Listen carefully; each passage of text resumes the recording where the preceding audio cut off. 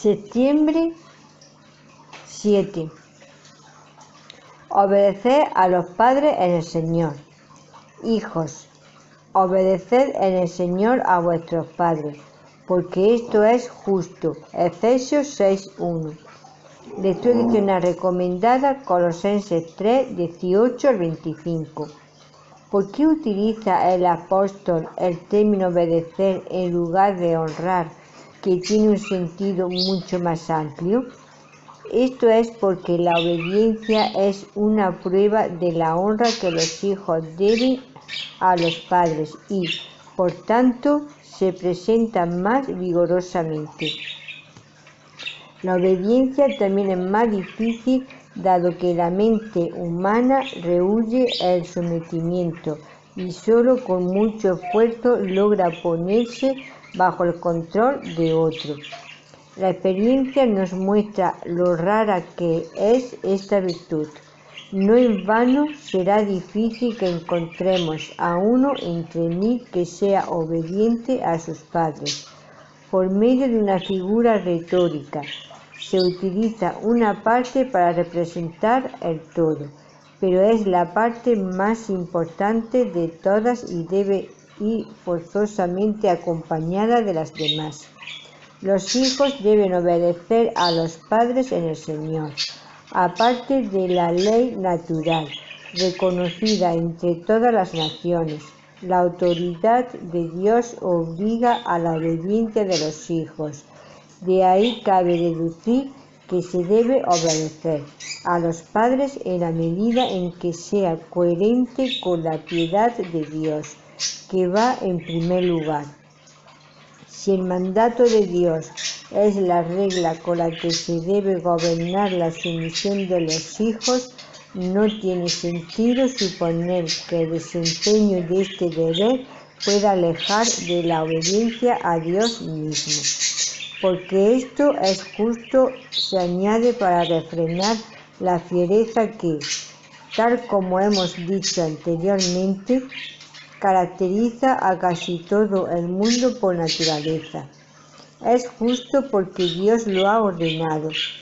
No tenemos derecho a cuestionar las imposiciones de aquel cuya voluntad es la regla inerrante de bondad y justicia que esta honra se represente incluyendo la obediencia no debe ser motivo de sorpresa, puesto que la mera ceremonia carece de valor a los ojos de Dios. El precepto de honra a tu padre y a tu madre incluye todos los deberes mediante los que los hijos pueden expresar un afecto y respeto sinceros hacia sus padres. Meditación. ¿Muestras el debido respeto hacia tus padres aún como adulto? ¿De qué manera los principios que Calvino ha bosquejado aquí se aplican a otras áreas de nuestra vida en las que estamos sometidos a una autoridad instituida divinamente? Septiembre 7. ¿Quieres a Jesús gerente de viajes vacacionales quien te lleve a un lugar donde la vida sea más placentera? Jesús solo puede ser tu soberano Rey y Salvador. Si juzgas la bondad de Dios con base en la cantidad de sufrimiento en tu vida, terminarás concluyendo que Él no es bueno. Si juzgas el amor de Dios con base en lo difícil que es tu vida, terminarás pensando que Dios no te ama. Si juzgas la fidelidad de Dios con base la decepción y el dolor que tienes que enfrentar, terminarás cuestionando su fidelidad. Aquí está el meollo del asunto. Sufrirás debido a que el sufrimiento es parte del buen plan de Dios para ti.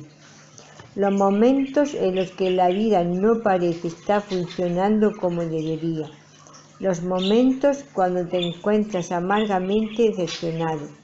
Los momentos en que has experimentado pérdida o los momentos cuando pruebas inesperadas entran a tu vida, no son indicativos del fracaso del plan de Dios.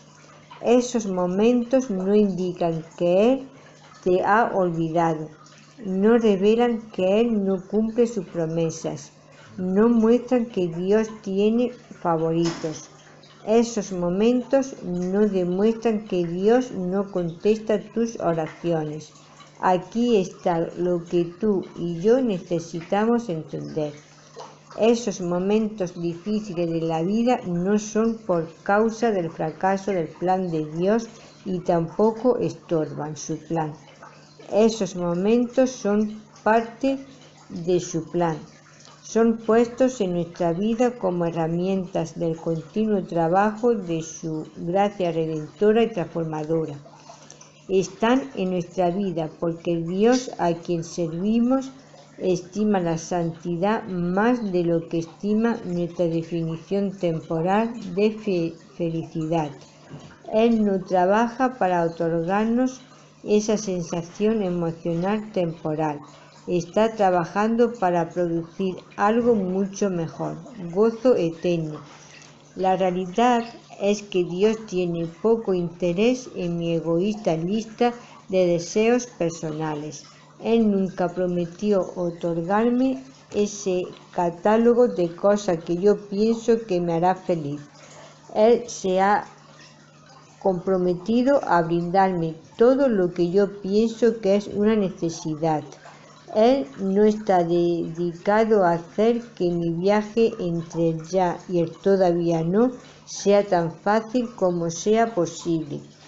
Dios nunca se sorprende cuando uno de sus hijos pasa dificultad, como si algo extraño sucediera. No.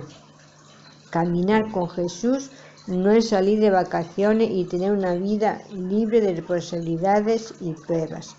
Caminar con Jesús no es así porque nuestro aquí y ahora no es nuestro destino, como lo serían unas vacaciones. Él no es Jesús el agente de viajes, Él es nuestro soberano, Rey y Salvador.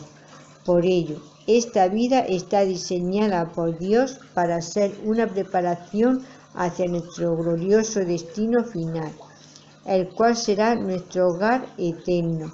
Así es que nuestro presente no es un paraíso, en el presente Dios, en su gracia, está trabajando para prepararnos por medio de las dificultades de la vida en este mundo caído, para aquello que está garantizado para cada uno de sus hijos, para profundizar y ser alentado. Hechos 20, 17 al 24.